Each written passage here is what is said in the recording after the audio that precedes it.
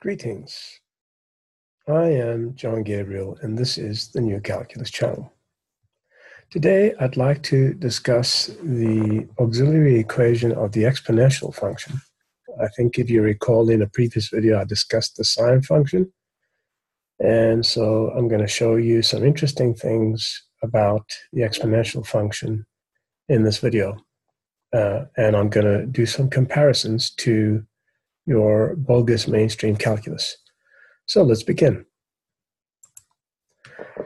Now, I showed you some time ago that E is really just a binomial, and you don't require limits or anything to find the E series. You don't even need calculus. All you need is the binomial theorem. And I showed you that if you start off with n equals 1, it's the straight line that you see there, x minus 1. I'm sorry, x plus 1.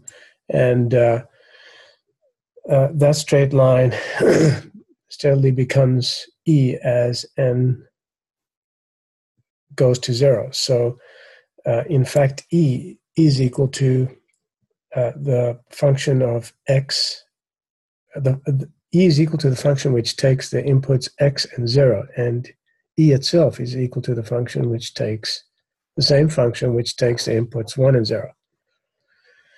So you can play around with this arithmetic. I, have also written an article showing you how to do it, um, and that will explain whatever you need to know. It does this in a lot more detail. So I'm going to leave that now and I'm going to show you how the auxiliary function for E works. Okay, so in the new calculus, we know the definition of a function is actually equal to the derivative plus some auxiliary expression, which is always equal to zero. So if we want to find the derivative of E, well, actually in this case, we already know it because we've already set this to zero and we found E, but I'm going to use the fact that we know the derivative of e to find an auxiliary equation, which is a relationship between the variables x, m, and n. And in this special case of the exponential function, we can remove x entirely, as you'll see in a moment. So over here, we substitute the values in the finite difference quotient, and then we know that the auxiliary expression is zero, so we can just leave it out and what we have here is this equation from which it follows that m plus n is equal to what you see on the right hand side here. And this implies one of the uh, forms that one can derive from this equation is this. It turns out that this has the solution which is uh, an analytic continuation of the product log function, okay? So it's very interesting um, as you'll see in a moment, uh, the bogus calculus, let's just draw that up there. Okay, the bogus calculus also has a solution, but there is a, a very big difference because the solution that's provided in the bogus calculus actually means nothing.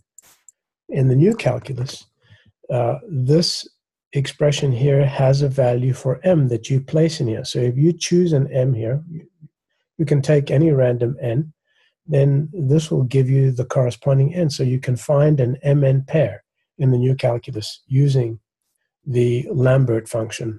Well, it's actually also uh, commonly known as the Lambert uh, function, which is the inverse of uh, a particular function uh, in terms of w.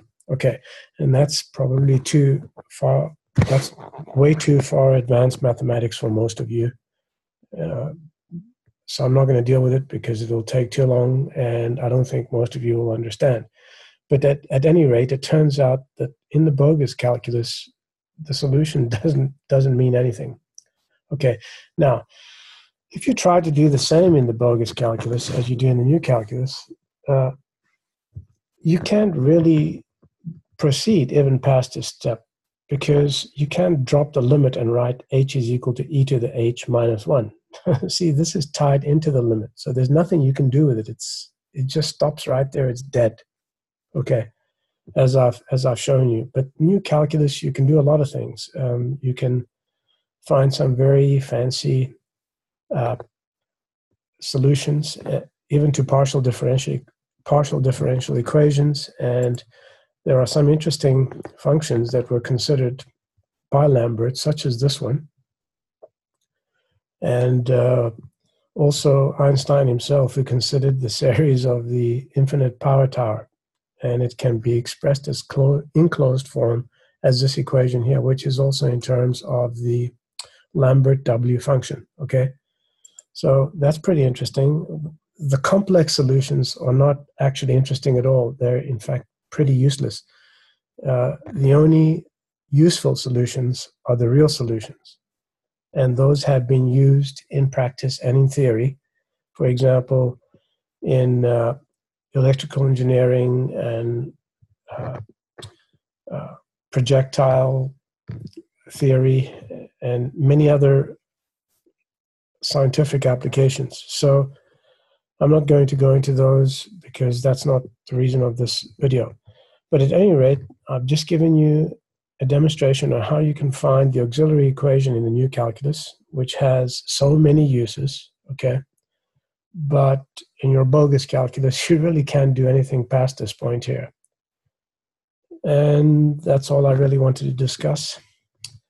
This is a new calculus channel. My name is John Gabriel, and hopefully, in the next episode or video, I'll show you how to do a little bit more. Till next time, goodbye.